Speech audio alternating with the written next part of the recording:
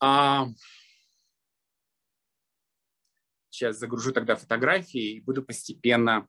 Сейчас я, я хотел бы, знаете как, не знаю, если получится, я бы хотел наоборот. Сейчас очень много из тонали говорится, очень много логики, очень много информации разной, эго включено. Сейчас бы я хотел, чтобы оно было притушено, то есть чтобы а те, у кого не было этого опыта, но кому это интересно понять вообще, про что это, может быть, не знаю, когда-то вы решитесь на такой опыт, или наоборот почувствуете, что он для вас важен и ценен, да, то есть я никого ни в чем тут не убеждаю, никого ни к чему не принуждаю, просто делюсь своим опытом. Я тогда сейчас, может, поставлю просто музыку, постараюсь такое немножко измененное состояние войти, чтобы просто передать саму атмосферу. И, возможно, через меня и через те фотографии, которые я буду показывать, вы это почувствуете. То есть давайте вот так попробуем. Значит, час. Я включу, соответственно, у меня ну, два телефона. На втором, извиняюсь, я включу а, просто музыку Икарос. Это обычно такие шаманские песнопения, как раз традиционные для региона Перу, когда они ну, поют э, вот во время церемонии, и, может быть, это нам поможет в настройке. Я очень надеюсь. Вот, кстати, маски, как у Ичули выглядят. И все это они видят, можно сказать, во время пьетных церемоний, и потом просто передают в, а, в, сказать, в своих произведениях искусства. Сейчас, секунду.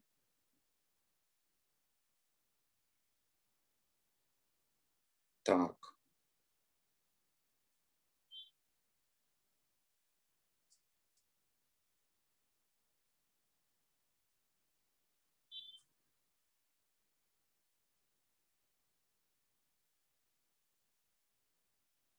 максимально постараюсь логику выключить, просто как бы передавать описание, просто описание и переживание по возможности.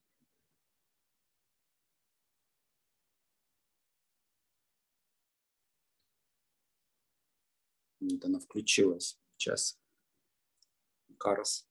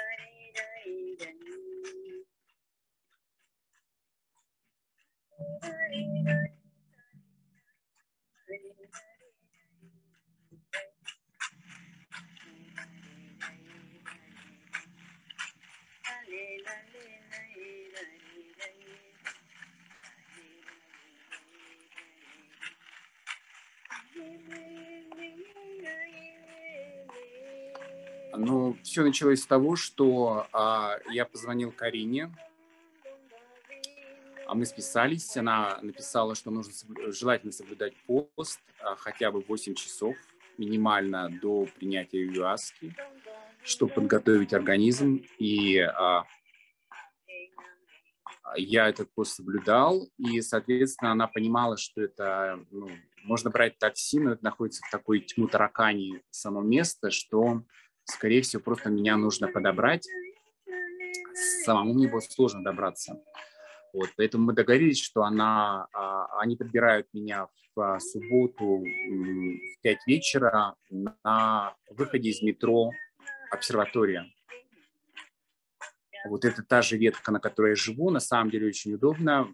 Всего лишь там 5 станций метро, нужно на запад проехать до конечной. Вот я доехал, вышел, и когда ехал, интересный такой момент произошел. А в, в, в вагон метро, в котором я ехал, а, зашел старик. Этот старик постоянно находился в, а, спиной ко мне.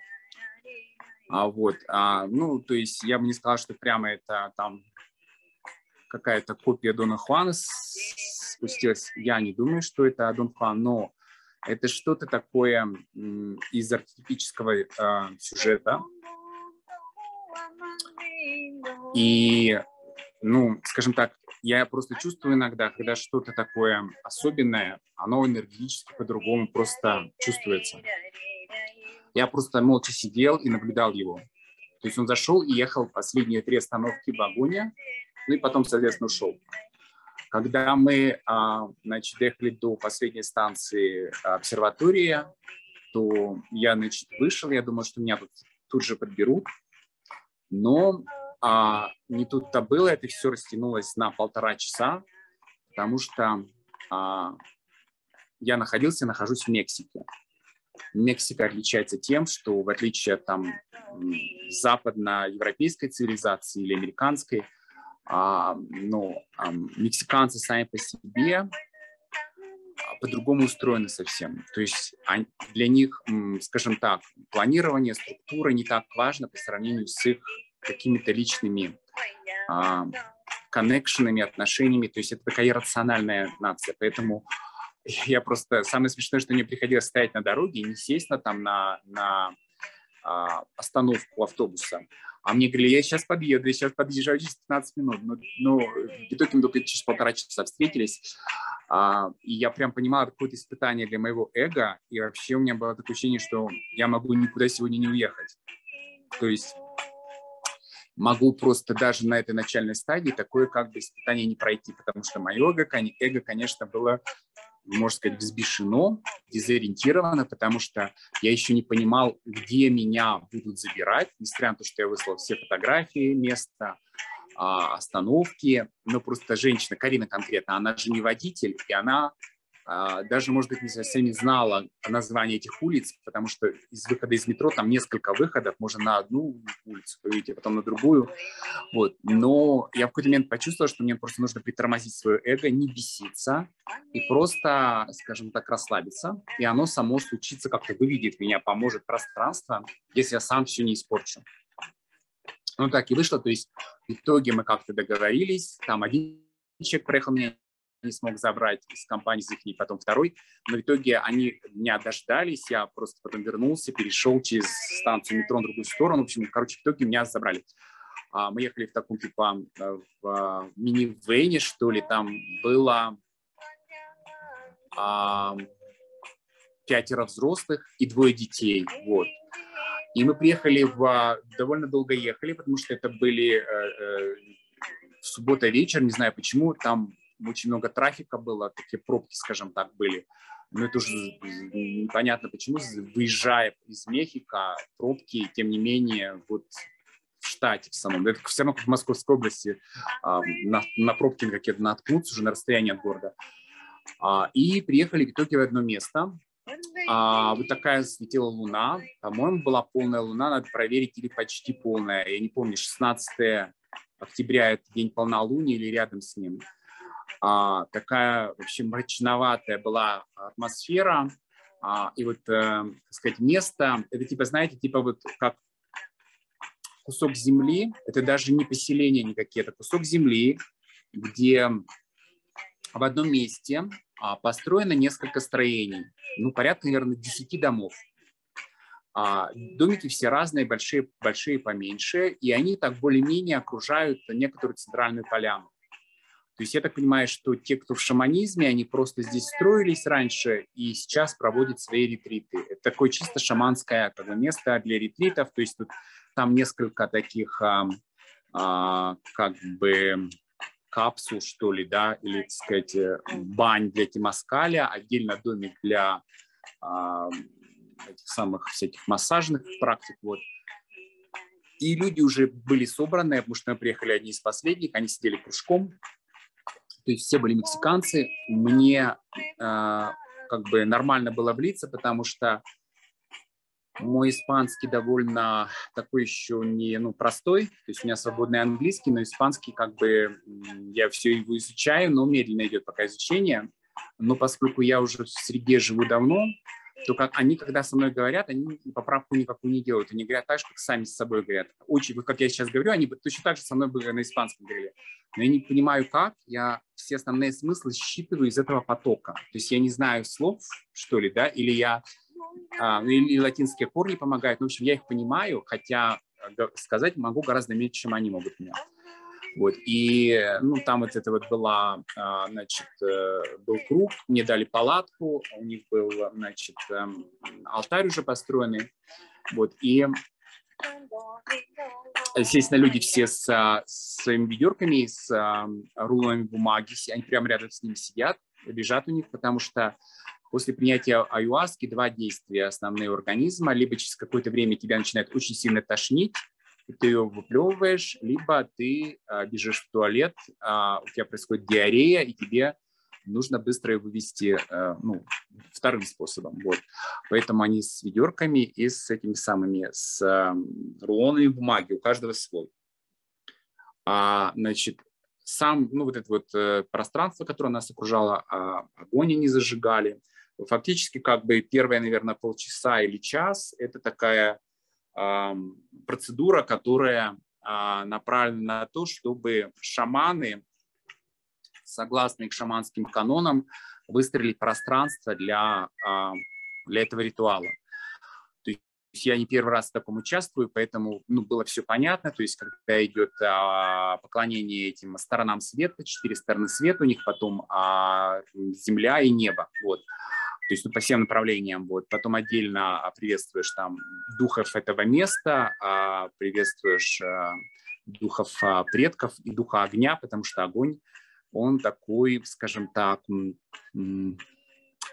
он просто соединяет все эти противоречия как-то на, на границе, то есть как бы дает этим силам как-то ну, сдержит это центральное нечто, что, что удерживает в равновесии разные силы, ну, в том числе разные силы направлений. Вот мы стоим как раз, когда мы смотрим на восток, а вот, а, значит, в этой группе примерно 6 человек, они организаторы. То есть имеется в виду, вот есть мужчина, который такой седовластый, он вообще уже такой, не знаю, сколько ему лет, 65-70, наверное, вот. Он поддерживал огонь всю ночь. Его сын, а у, э, у его сына девушка, ну, они все такие как бы э, шаманки, шам, шаманистые все, вот, и э, мужчина, который сюда влас, я так понимаю, он просто живет здесь, хозяин этого места, либо живет в одном из домов просто, вот, а, и дал эту территорию для этого ретрита, вот, и помимо него еще примерно три или четыре разных шамана, а, либо те, которые изучают шаманизм с какими-то шаманскими способностями. Вот. И плюс еще человека два, наверное, те, которые, ну, как-то, видимо, давно этим интересуются, они просто помогают. То есть, допустим, вот эту традиционную чистку, которую они делают а, тонких тел, да, до, до принятия аюаски, делали ребятам, ну, им лет, наверное, 25-30, вот, делали, кстати, хорошо, и вообще как команда они работали просто на уран, на ура, на мой взгляд, очень четко и, а, ну, грамотно, я бы так сказал. Вот, это мы э, стоим, соответственно, а, готовимся к самой церемонии. Соответственно, потом происходит церемония. Во время церемонии а, есть возможность а, принять до трех доз аюяски. То есть первая принимается в 10 примерно часов вечера, действовать она начинает примерно через полчаса, и эффект действия может быть от 4 часов до, там, до 8-9. Вот, соответственно, вторая а, доза принимается, они все смотрят, они мониторят, этих, которые шамана, они не каждому предлагают, но если не считают, что нужно идти дальше, то они предлагают вторую дозу, и она происходит примерно в районе пол первой и, или часа ночи, и третья, соответственно, в три часа ночи. Вот. Это их алтарь выстроенный, вот это их а, написано. Значит, сейчас расскажу а, о том, как это все происходило. То есть, соответственно, а, ну, мы потом в очередь выстроились, а, а, приняли, значит, э, первую дозу аюаски, вернулись на свои места. Эти шаманы, которые, ну, шаманская группа, они стали ходить вокруг нас, в такое трансовое состояние, как бы вводить, то есть так, такие же вот песни Икарас и, и, или другие какие-то разговорного типа практики, когда они постоянно что-то о чем-то говорили, вот, а, использовать трещотка в большом количестве, иногда бубен, вот, а, и это все как-то способствовало расслаблению, погружению, вот просто, ну, э, тому, чтобы этот контакт случился.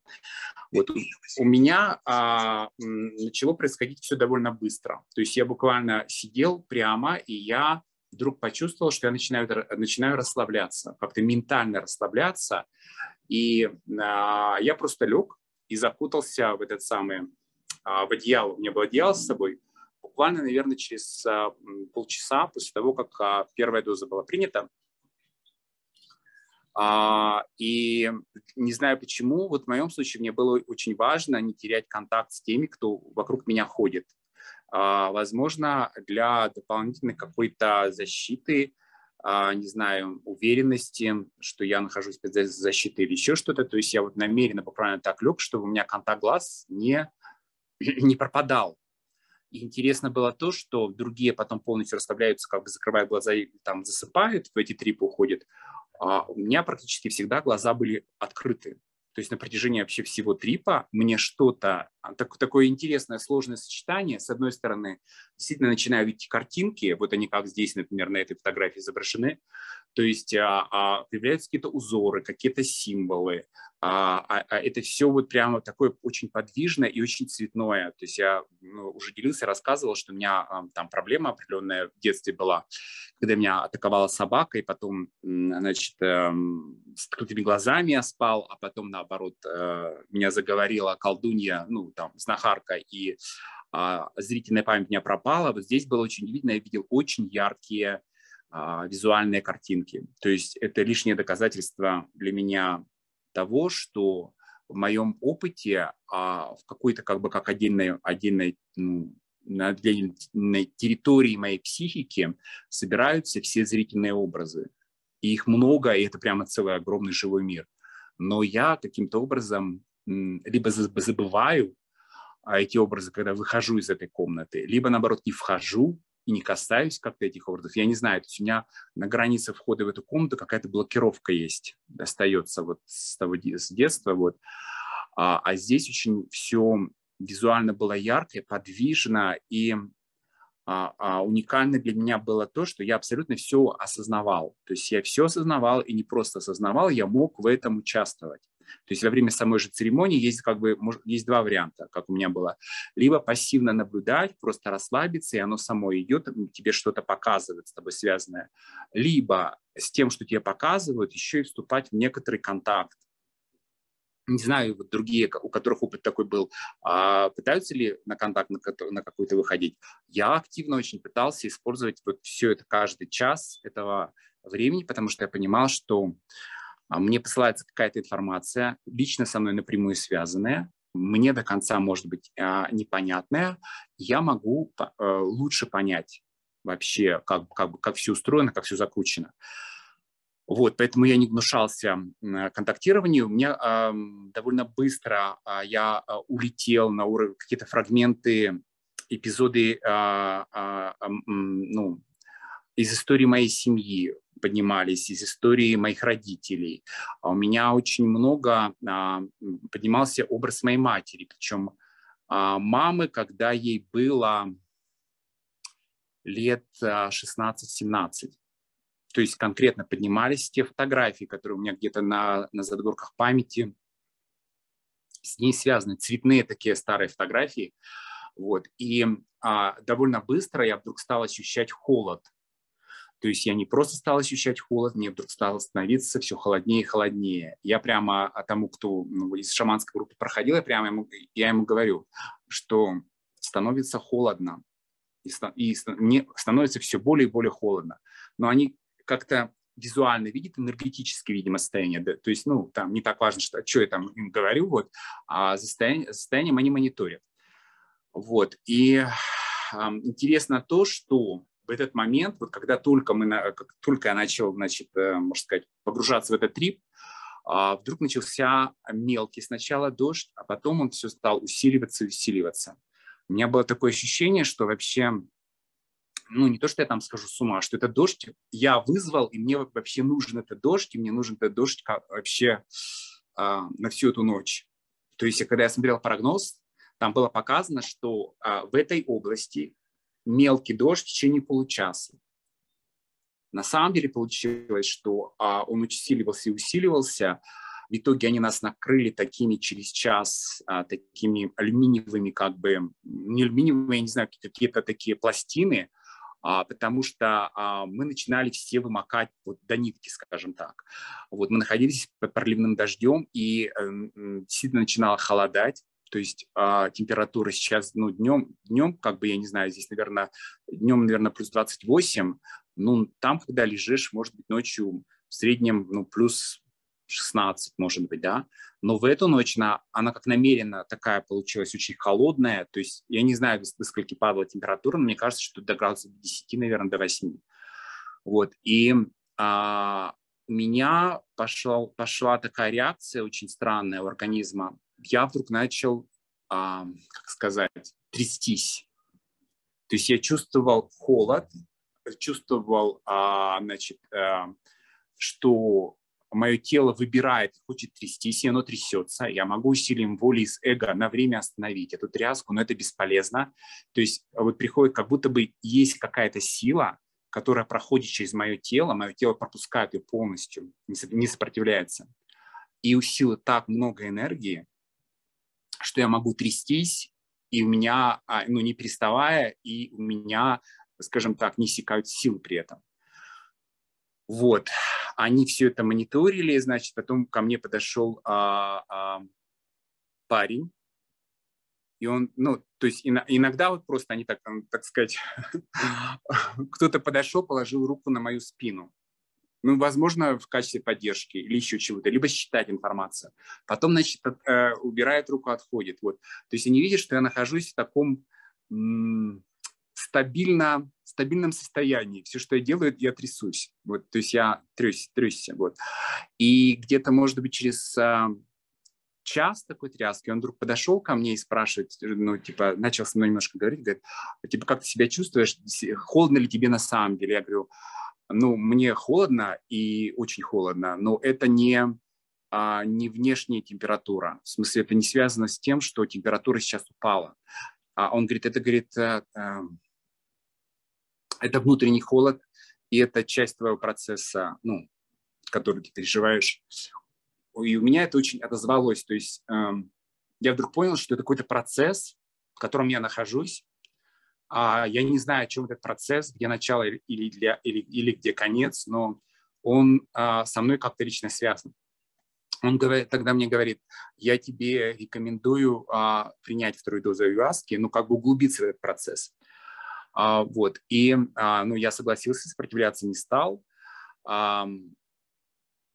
И значит, где-то это, видимо, уже час, час, часа полтора, наверное, прошло. Он принес вторую, вторую соответственно, дозу, я ее, я ее выпил. И у меня пошли воспоминания, связанные с матерью, очень плотно. То есть конкретно мама, то, что... Я вообще сначала подумал, что может быть не так холодно, потому что я вот перехожу на эти состояния, а, ну, ну с чем связан холод? Холод обычно ассоциативно так связан, то, что смерть, да, смерть, э, страна там мертвых, а, эти мертвые ходаки, скажем так, на севере за, за стеной, это все страна холода, да, и а, почему-то я погрузился в те воспоминания, которые, возможно, в которых моя мама старалась нас, детей, защитить, потому что а у меня родители дети войны, они родились в 1939 году, и конкретно когда мама родилась, то есть война началась, ей было два года, и а, его, ее папу, то есть она младшая дочь в семье, а, шестой ребенок, а, забрали, то есть моего дедушку, его забрали на фронт, и буквально он пропал без вести в первый же год. Вот, и а, бабушка осталась с шесть, шестеро детей, причем возраста вот маме 2 года, потом там 4, 6, 9 и только одна старшая сестра, которая была 16. А вот, и, ну, в общем, короче, как они там выживали, все это было, а, как это было все тяжело. Это вот шло образами, и я пытался с образами говорить, в том числе с образом моей мамы много, и этот дождь, он все усиливался, то есть дождь стал такой просто ливень просто реально ливень. И а, тогда они стали поднимать, я имею в виду эти шаманская группа, эти ну, какие-то, как-то, я не знаю, ну, эти пласты чего-то, вот, чем они нас укрывали, и, и, и сортировать. То есть как бы часть людей, они а, а, остались в спальниках, либо ушли в палатку. А вот такие, скажем так, пограничники, с которым, ну, которым, наверное, можно отнести меня, а, они нас переместили на веранду, там было, наверное, всего на ретрите было, наверное, человек 35, да, а нас, вот таких вот пограничников, может быть, человек 7, 6 или 7 человек под веранду, под наблюдение они, э, значит, переместили, то есть они, скажем так, перетащили это, такой дом, э, э, сбоку открытая веранда, и вот они там выстроили такое как бы место, лежаки, мы лежали буквально рядом друг с другом, вот, и а, они старались нам, нас мониторить. Вот, а, значит, а, у меня, а, я довольно быстро почувствовал, что как бы, а, я когда проходил против, ну, мимо людей, когда они подняли, такое интересное состояние, что ты, с одной стороны, частичность осознаешь, но и, и очень частично контролируешь свои э, передвижения, действия. То есть имеется в виду, что движение тела контролируешь, может быть, процентов на 20 или на 25. То есть нужно, в идеале нужно идти, чтобы тебя кто-то поддерживал, потому что ты не, ну, не можешь рассчитать прямо шаг или еще что-то, особенно если там какая-то горка или еще что-то. Но с другой стороны, вот я, например, был полностью в сознании, я все понимал, очень четко, ясно понимал, нигде не терял ничего, но не контролировал свое тело. Оно как будто бы мне не принадлежало, оно принадлежало вот этому энергии этой вот аюаски, которая, ну, процесс которой а, всю эту ночь проходил. И когда а, мы на веранду поднимались, вот эти вот как бы пограничники, так называемые, то было видно, как много людей, они а, в них рвотный рефлекс идет, то есть очень сильная как бы рвота у других людей. У меня рвоты не было вообще, то есть даже позывов и, или каких-то, скажем, поползновений, то есть, можно сказать, я э, эту смесь принял, полностью пропустил через себя, принял все, что она мне предлагает, как некоторый опыт, и вот а, погружался в него. То есть, когда я на веранду поднялся, значит, соответственно, первый раз у меня был а, позыв, значит, э, сходить в туалет. Я быстро тоже с поддержкой сходил в туалет. Было интересно наблюдать то, что когда а вот, э, ну там такой как бы домик на улице, да, там с унитазом, все нормально, то есть вот. Но интересно было наблюдать, что когда а, ты выходишь из этой туалетной комнаты, а, а как бы маленький коридор, там стоят такие свечи, чтобы ну, люди, когда заходят туда, чтобы они там нигде там не упали, не, не запнулись, чтобы было видно им все. И вот, несмотря на то, что это была э, сплошная такая темень ночь, да, то есть это уже было час ночи где-то, а если ты вот в состоянии э, темноты смотришь там, то ничего не видно. А вот когда ты наход, видишь эти вот подсветку, которая в этом туалетной, в туалетном домике, то прямо видно, как течет энергия. То есть эта вот подсветка от свеч, она дает такой минимум ощущения, что, ну, освещение, что видно, как в пространстве прямо растекаются флюиды вот эти вот энергетические. Я так немножко был в шоке, потому что ну, в обычной э, реальности, когда у нас э, эго так сильно ну, влияет на наше восприятие сознания, мы ну, ну, разве только те, кто постоянно практикует деконцентрацию, могут что-то подобное увидеть. То есть мир, он реально живой, состоит из энергии. Эта энергия, она прям растекается, вот эти вот линии энергетические, какие-то потоки.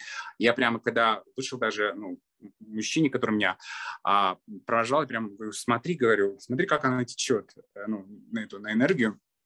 Вот, и потом вернулся, значит, э, на веранду, и я уже понял, что э, такого сильного как бы ну, давления на, на меня не будет, потому что фактически я часть аюаски уже вывел из себя, я остаюсь все равно в, под ее воздействием, но а, как бы ее во мне меньше. Вот. И я просто отдался этому процессу, и получилась такая вещь странная, что а, что фактически на протяжении всей ночи я находился в одном перманентном состоянии. То есть я находился в состоянии холода и постоянной тряски. Они ко мне подходили периодически, разные люди, спрашивали, ну как ты себя чувствуешь, типа, что с тобой происходит? Я говорю, все хорошо, говорят, у меня какой-то внутренний процесс.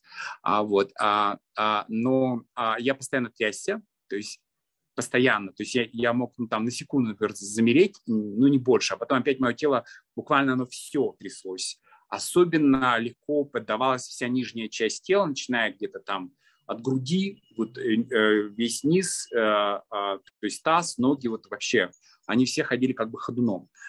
И а, интересно было наблюдать, что как, такое было ощущение, что вот я не знаю, как другие это а, расскажут про свой трип, что вообще все, что я сейчас вижу и переживаю, это как декорации для меня, лично для меня созданные.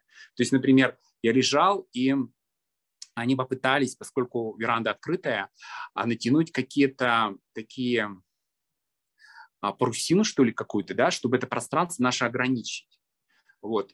И я просто видел, как эти паруса раздуваются и летят на меня, то есть сам, самого края лежал, да, они буквально как паруса, на меня долетая практически до моего лица.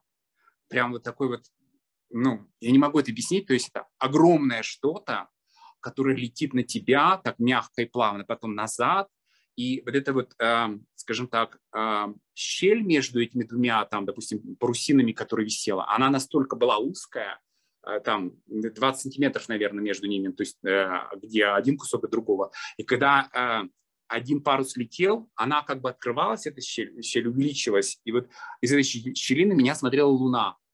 Я даже когда смотрел на нее, я только понимал, как такое вообще может быть, потому что Луна буквально два часа назад находилась прямо противоположной стороны вот где мы э, фотографировали, ну, где мы стояли, подношения, да, делали э, этим предкам там э, с телом направлений, то Луна была строго на востоке, а я головой лежал потом строго на запад. Смотрел на запад, и это Луна, и это не глюк, мне казалось, это вообще реальная Луна абсолютно. И она выглядывала в этой щели прямо вот между парусами, и прямо вот светила мне. И я причем понимал, как Луна может на 180 градусов за два часа из одного места перейти в другое. То есть это очень интересный такой феномен. Можно, кстати, потом будет даже астрономически мне проверить, а, в какое время, в какие часы, где Луна там находилась в этот момент. Вот, но в итоге, как бы по факту, то, что я пытался разговаривать со своей матерью, узнавать вообще, о чем она мечтала в ее, а, когда ей было там 16-17 лет. А я видел, что образы от образа, э, вернее, образы не идут от этого образа, то есть какой-то момент я, я понял, что это часть истории, но а моя мать – это не страхи моей матери, это нечто связанное со мной лично. Просто она как часть пазла, но это не ее история, это моя история, вот все, что происходило. Так, сейчас покажу. Вот эти вот линии, вот такого типа, вот где здесь, вот это вот голубоватое, вот это вот все, оно, а, ну, только ночью было видно. Вот такого я не видел, чтобы такая голова была. Похоже вот было вот на такое. То есть какие-то а, геометрические узоры, которые увеличиваются, уменьшаются. Вообще все, там это и, и более сложные могли быть какие-то и люди реально, которых я знаю, всплывать. Но вот это больше похоже.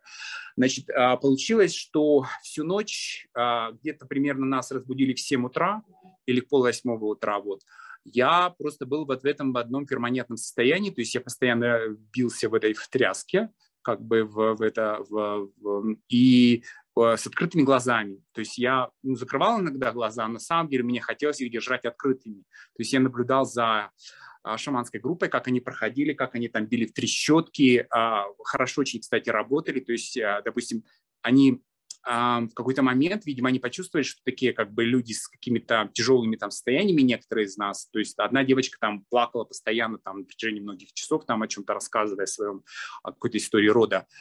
А, вот, а, парень из этой группы один, он вышел за пределы этого пространства, то есть, видимо, границы какие-то не выстроили, то есть где мы лежали, и он эм, такие звуки издавал, ну, такие тревожные, неприятные, за границами этой веранды как раз наоборот может где-то усиливая, сублимируя вот а, напряжение. Ну, у каждого свое из нас, из нас было напряжение, но мы их проводили.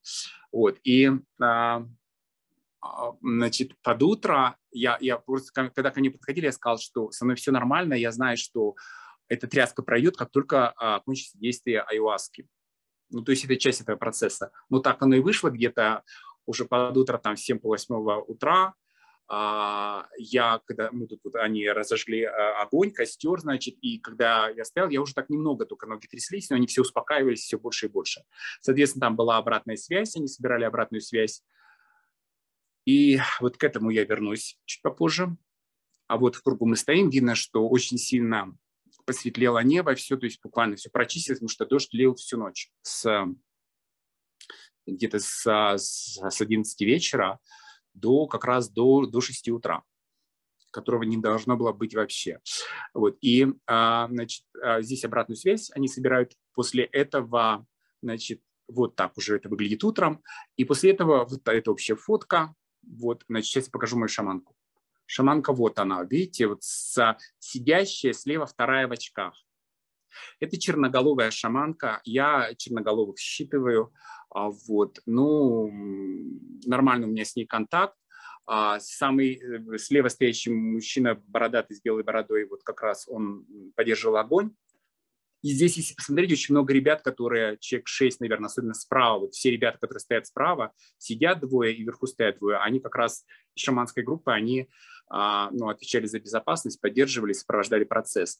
Значит, я э, на обратной связи рассказал все, все о чем, ну, со мной, все, что со мной происходило. А, и после этого был Тимаскаль. Тимаскаль – это как бы шаманская баня.